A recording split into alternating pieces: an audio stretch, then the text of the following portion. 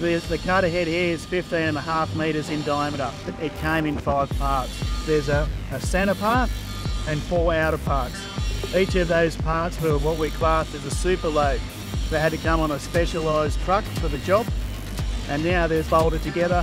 They're a little bit over 500 tonnes in weight. There's over four tonnes of welding wire that have gone into this process over the last 10 weeks. That's basically the equivalent to the weight of two and a half to three of normal cars to join it together. On the cutter head around the outside there, we can see there's those little lumps. Those little lumps are special wear plates. There to combat the various ground conditions that we're going to encounter with this core boring machine as it goes from, from the north to the south of the job on its journey.